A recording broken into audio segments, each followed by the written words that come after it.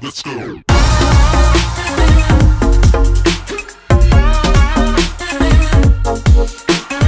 Hey, what's up guys? Toby here from TechMeNow, and today we're taking a look at LG's somewhat risky G5.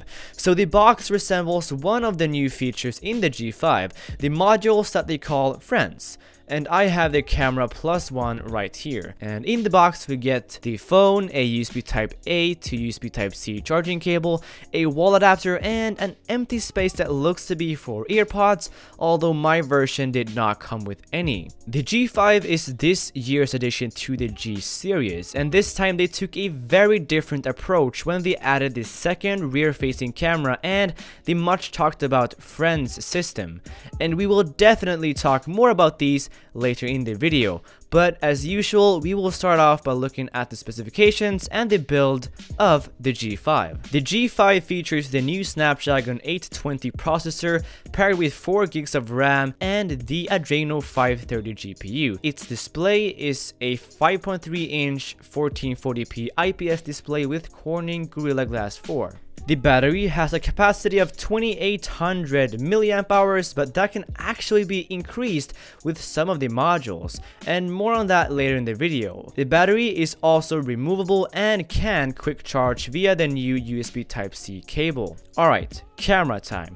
The primary standard view camera has 16 megapixels and an aperture of f1.8. The second camera, which is super wide by the way, has 8 megapixels and an aperture of f2.4. They're both capable of shooting in 4K and in manual mode. The front-facing camera is an 8 megapixel shooter with an aperture of f2.0 and the rest of the specifications are pretty much the same as any modern smartphone today so let's not bore you guys with the specs and get right into the review. So pretty much every review that I make goes as follows. So yeah, this is the display, I like this, but not that, etc.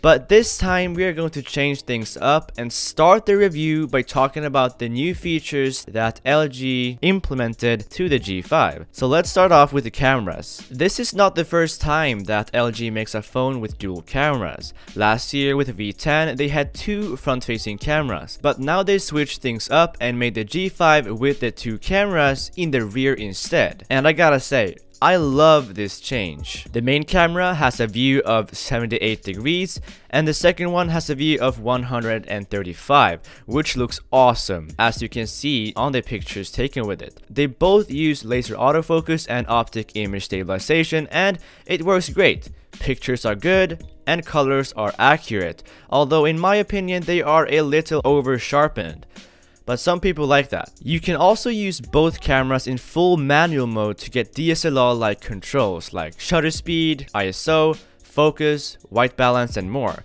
So if you spend some time tinkering with it, you can get some pretty awesome looking videos and images. Low light performance is not the best and highlights do look a little bit blown out, but when using HDR, those issues get mostly solved.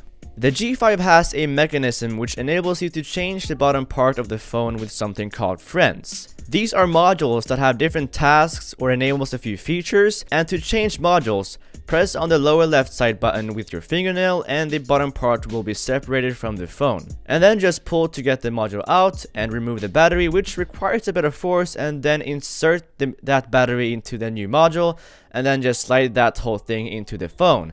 It's pretty easy although you gotta use a lot of force when removing the battery and it kind of feels like you're breaking it. The module I have is the Cam Plus one, and it has an extra 1200 mAh battery built in, and that will significantly increase your battery life. It has a dedicated shutter button, a scroll wheel to zoom, a video record button, and a switch to launch into the camera app. And it also acts as a grip to make it feel more like an elaborate camera. Alright, those are the two main new features in the G5, so let's continue with the general phone review. The G5 is made out of metal, but it doesn't feel like it. They added some kind of plastic coating, most likely to hide the antenna bands and to make it look more seamless, and it does just that, but I lack this sense of exclusivity because it just doesn't feel as premium as it looks. But I do like the weight of it. It feels sturdy and well built, like any other phone of this price should. On the bottom, there's some speaker grills, a USB Type-C port, and a microphone. And on the left side, there's a volume rocker that feels clicky and tactile. The power button is on the back, just like the V10 and the Nexus 5X that they made. Some people have said that it feels wobbly and plasticky, but I haven't experienced any of that. Maybe it's just their review units. Setting the fingerprint sensor up was easy and quick, and it worked with just a couple taps. It works great, it's fast and responsive, and I tested it 10 times, and it worked great each time with no problems whatsoever. The new Snapdragon chip and 4 gigs of RAM makes the G5 one of the fastest phones I've ever tested, and it handles multitasking like a beast with no hiccups or slowdowns at any point whatsoever. The experience is super smooth and everything runs like a charm. It's just perfect. Gaming works well too, again, with no hiccups or slowdowns at all. And in Geekbench, it scored a 2293 in single core and 5348 in multi-core, which puts it in the top of high-end smartphones. So performance on this thing is top notch. The battery is not great, but I could definitely go through an entire day without charging, but not much more than that. So it discharges pretty quick, but it also charges quick thanks to the next gen quick charge technology through the USB Type-C port.